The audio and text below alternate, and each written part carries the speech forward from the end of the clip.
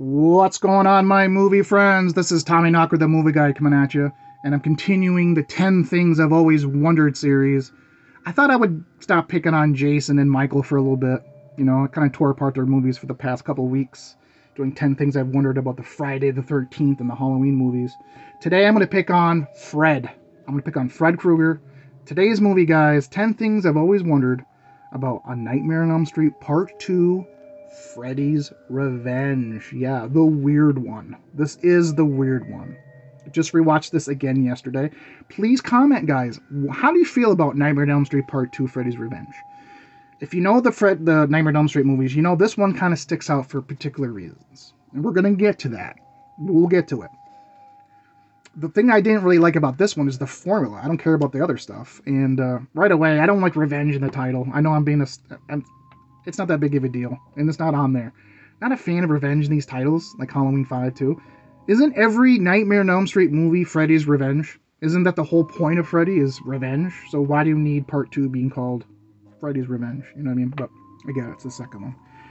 Whatever. But here are 10 things I've always wondered about Nightmare on Elm Street 2. Uh, I watched this young. I was really young when this came out eight or nine years old, and I didn't pick up on any of the stuff that we're going to be talking about. Not until later years. Not until my later years. So here we go. First thing I've always wondered about Nightmare on Elm Street 2, Freddy's Revenge. Here we go. Is this the most confusing Elm Street movie? And what I mean by that is the formula, the plot. Freddy Krueger. He's using Jesse. He's using his body. Jesse's family has moved into the house now that Nancy lived in. He's using Jesse. Guys, this really feels a lot like Amityville Horror 2. I never really picked up on that before, but when I watched this yesterday, I got Amityville Horror 2 vibes. And um, I even got some. Do you think this belongs in the same. Elm Street 2 is known as the Black Sheep. No matter how you feel about it, it's different. It's the black sheep of the family. Do you think this kind of belongs in the same category as say like uh, a Friday the 13th Part Five, A New Beginning, or Halloween Three, Season of the Witch. You know, those ones kind of stick out for weird reasons. Yeah, Freddy Krueger's in this one, but the the whole formula of Freddy's different. I mean, the, the pool party alone. You know, him coming out and killing those kids at the pool party and, and, and it's a dream. Nobody's dreaming in this. At the end of the movie, at the end of the movie in the boiler room, nobody's dreaming there. Nobody's dreaming when Snyder got killed, the coach Snyder in the school Jesse was not dreaming. Snyder was not dreaming. But Freddy was out. I don't understand. I like this movie. It's enjoyable. I really do think it's a good entry. I enjoy part two more than like see the Dream Child, Freddy's dead, all that shit. I enjoy a lot more. I like part two. But is this the most confusing Elm Street movie? It's it's a legit question. Number two, Elephant in the room, we'll talk about it. The homoerotic stuff. I was eight or nine years old. I didn't pick up any of this shit, and I didn't care. I just wanted Freddy to kill people. Don't care. And I still don't. It doesn't bother me. But man, it was pretty blatantly obvious. Now that was. I mean, Jesse, dude. You're 17, 18, I'm guessing. You're a senior. And you got a no chicks allowed sign in your room. Come on, man. That's that the shit fly if you get a tree fort when you're like eight or nine, cool. And he's got a board game named Probe. They threw in there little, little, hints. Oh, and the, the dancing scene, you know, with him cleaning his room. Have you guys ever cleaned your room dancing like that? Uh, his relationship, his friendship with Grady. I didn't pick up on that either. You know, you know, and the pool party scene. You know, he's, he's getting it on with Lisa and then Jesse says, I can't do this, I gotta leave. And he leaves and he runs to Grady in his bed little subtle hints here and there. I, I, I see it now. I do. But back then, when I was a kid, could care less. Still don't really. Number three. How did Jesse live? How did he live? Like, okay, so the scene where Freddy comes out of him in Grady's bedroom. Jesse's basically just skin. He's basically just skin, guys. I just came out. This movie's got me well worked up. My earplug just came out. How did Jesse live? For real, it's a legit question. Even at the end, when Freddy is defeated and he comes out of him, this the, the formula of this movie is all over the place. It's all over the place. I don't know how he lived. So if you guys, you Elm Street fans, so I gotta admit, like when it comes to the Elm Street movies and the Halloween movies, I don't I don't like Nightmare on Elm Street as much. I don't have as much affection. More than when I was a kid. Please explain this logic to me. How did Jesse live through that? Does Freddy keep on wanting to use him, his skin, his body? Like I can get one time you're gonna use it and that's good. But like even when Jesse after Grady died, he went to Lisa's party. He went to Lisa's pool party again covered in blood and then he he comes out from the desk and once again he's turned into Freddy Krueger. Is this like an Incredible Hulk Bruce Banner thing? Every time he gets upset, he turns into Freddy Krueger? Number 4. Number 4. The end of the movie, Freddy's boiler room. He's got a couple pets. Again, this is not a dream. Nobody's dreaming here. Freddy's in the world now. This is the real world. Freddy's in the boiler room that, or the whatever the boiler that he used to work at. He's there waiting for Lisa to try to save Jesse, and he's got some pets. He's got this thing. He's got this dog with a human face. So my question is, guys, what if this was your pet? What should what would you name him? What should Freddy name this pet? Or what would you name this pet? And also, that's not the only pet he has. There's apparently a giant cat rat monster that ate another little mouse in the boiler room with Freddy. What?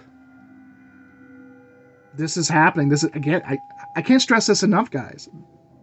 This is not a dream. This is not a nightmare. This is the real world. So did, did Freddy have this when he worked at the boiler room when he, when he was human, when he was alive? Did, were they his pets? So what would you name that dog, guys? What would you name that dog with a human face? Look at that. Oh, God. I have no idea what I would name that. Butterball? Boozer? I, I, I really don't know. Let me know, guys. What would you name that dream demon dog? What do you even call this? A demon dog? A dream dog? Nightmare? Uh... Number five. What was Snyder's intentions for Jesse that night? Really, though, that was creepy. He's a teacher. He obviously doesn't like Jesse, doesn't like him. He makes him run laps in gym class, him and Grady. Nobody really likes Snyder. He's one of those teachers. He's a hard ass. No personality, doesn't joke with the kids. Apparently, he's gay. Fine. And Jesse ends up in this gay club at night, and there's Snyder and Snyder makes him so they apparently go back to the school and he makes him run laps. Why? Because he's in a gay bar? Is he afraid that he's gonna tell people? So if you're afraid you're gonna tell people, you think you would not make him run laps because he's gonna be like, fuck you.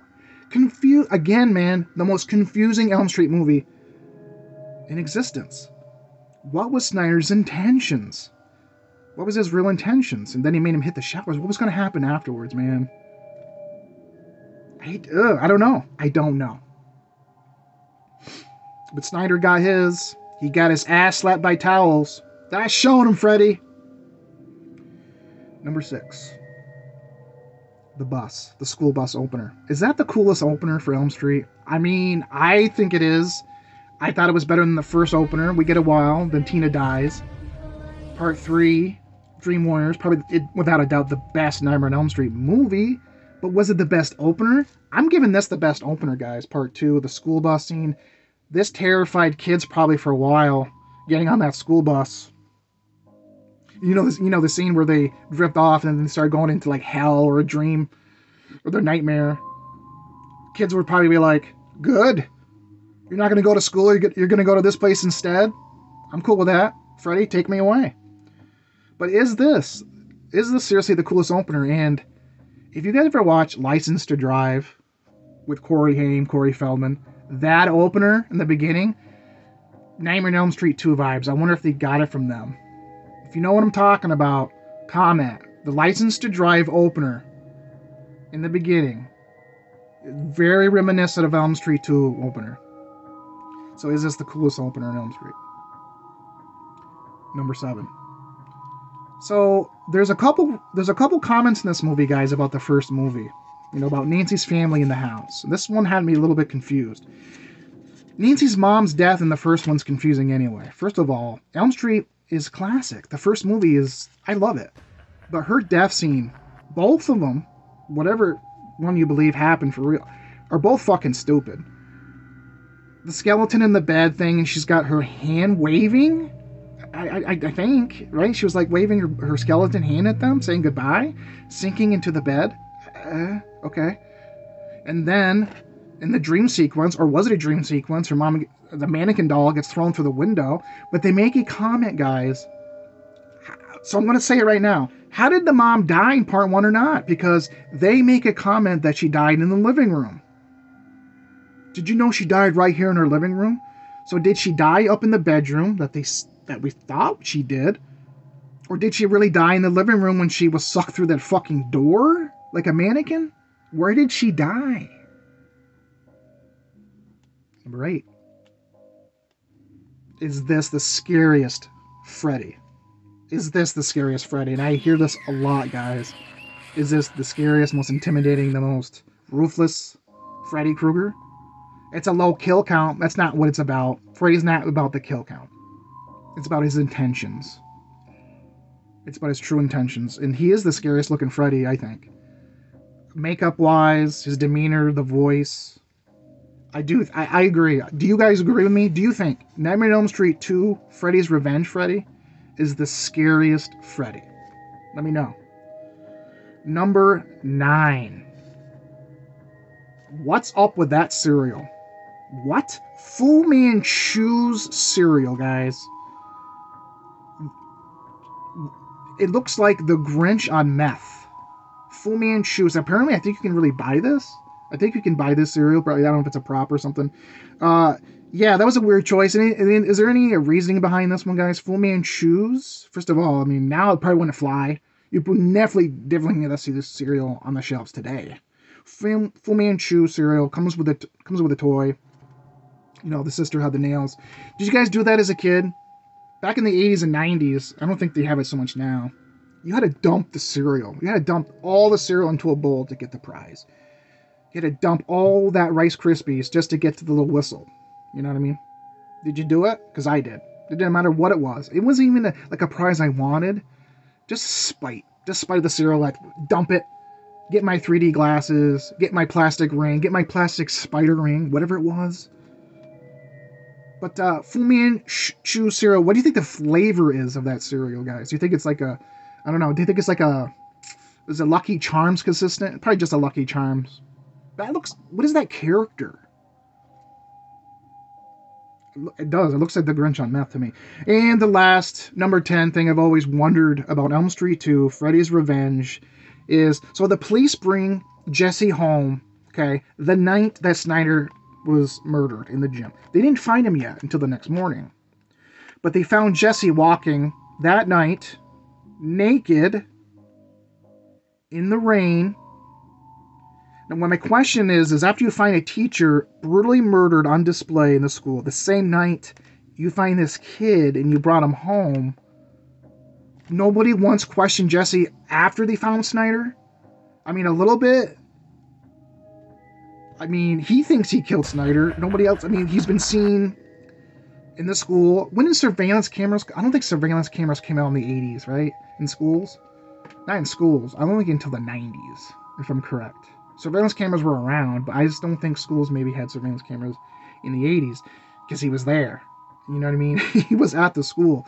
Snyder's constantly making him and Grady run laps. There's your motive. I'm just saying. In the pool party too, guys, they the parents, Lisa's parents threw a pool party.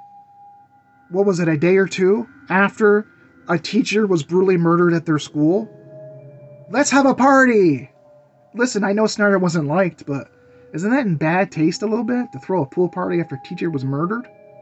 And the murder wasn't found. That's the bitch of it all, this small town. The murderer was not found. So everybody's out and about having a pool party. I love this town. I love this town. So there you have it, guys. Those are some of the things I've always wondered about the wacky and wonderful Nightmare on Elm Street 2 Freddy's Revenge.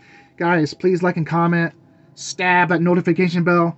drop some comments. Uh, let me know what you think about Elm Street 2, some things that you've wondered. You got any answers for me?